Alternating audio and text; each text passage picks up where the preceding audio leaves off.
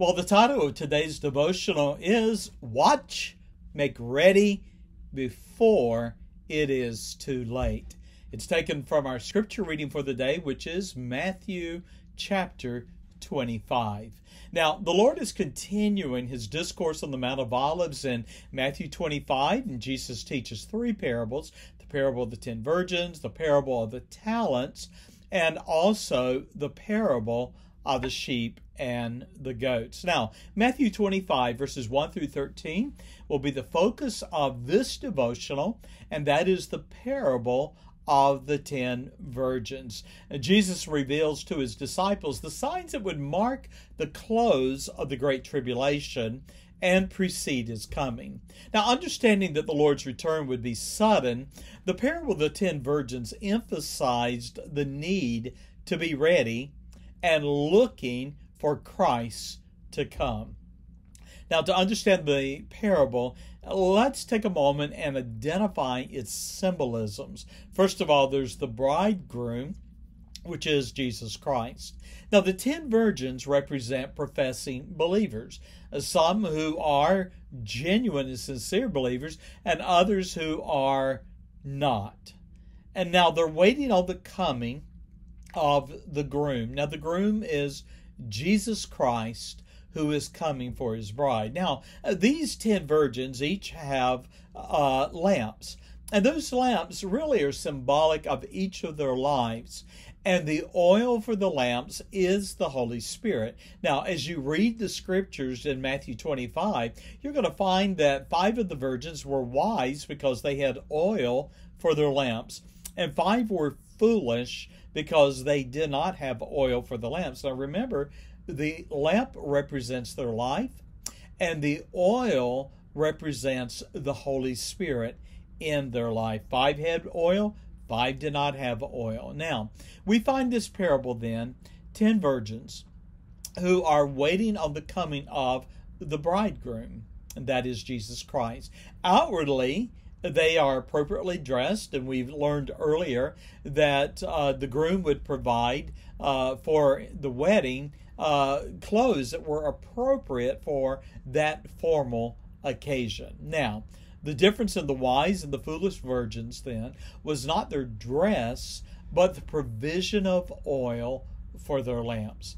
The foolish virgins came to meet the groom, however, they had failed to make provision to have oil for the lamps. The wise virgins came as well, however, they had oil, the oil represented the Holy Spirit, for their lamps, and they waited in anticipation of the coming of the groom. Now, they did not know when the groom would come, like we do not know when Jesus Christ will come.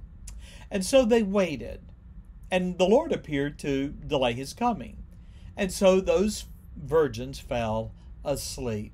Well, at midnight, they were awakened by a loud cry. And the loud cry said this Matthew 25, verse 6 Behold, the bridegroom cometh, go ye out to meet him. Well, the bride, uh, the virgins rising from their sleep to meet the groom, they began to trim, or that is, cut the wicks of their lamps that would be soaked in oil. Well, the foolish virgins, however, realized too late that they had failed to acquire oil for their lamps. And so they began to plead with the wise virgins, Give us of your oil, for our lamps are gone out. Well, the wise virgins, knowing they had only enough oil for themselves, refused the request of the foolish virgins. Their denial was not out of callousness, but because they only had enough oil for themselves. Again, the oil represents the indwelling of the Holy Spirit in a believer's life. Now, the wise urge the foolish to go, go out into the night, purchase oil, acquire oil for yourselves. And sadly, the foolish virgins soon realized it was too late and the sellers of oil had closed their shops. The bridegroom appeared while the foolish virgins were away, and he invited the wise virgins, the ones with oil in their lamps, to join him. And then he shut the door. Well, the foolish virgins returned to the wedding. They found the door of the house was closed, and they begged urgently, Lord, Lord, open to us. Their pleadings had come too late, however, and the groom answered them, I know you not. You see, the five virgins were foolish. not because of the company they kept. They were in the presence of sincere believers whose lamps were filled with oil, representing the Holy Spirit. And those wise virgins were watching and waiting for the Lord to come. But the foolish virgins were insincere in their profession. They had not prepared their hearts by trusting the Lord for their salvation and lacked oil, the Holy Spirit, indwelling their souls. And friend, I close today with a thought. There is an overriding truth that is the subject of this parable, and it is found in the concluding verse. In Matthew 25, verse 13 Watch therefore, for ye know neither the day nor the hour wherein the Son of Man, that is Jesus Christ, cometh.